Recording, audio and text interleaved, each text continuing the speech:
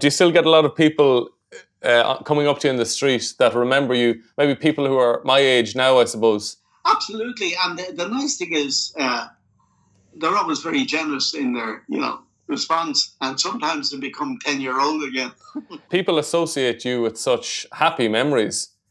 Like well, I mean, that's good. We don't we, we don't realize how lucky we were to have the den. Well, I, I and it, again, the whole thing kind of just happened, and because it was live and it was quite outrageous at times, and and people say, you know, you're always laughing on the den.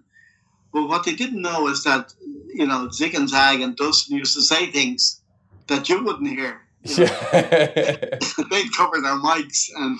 and what, what are some of your happiest memories from the show? Well, uh, yeah, I really used to enjoy it because, uh, I mean, trying to get a word in, yeah.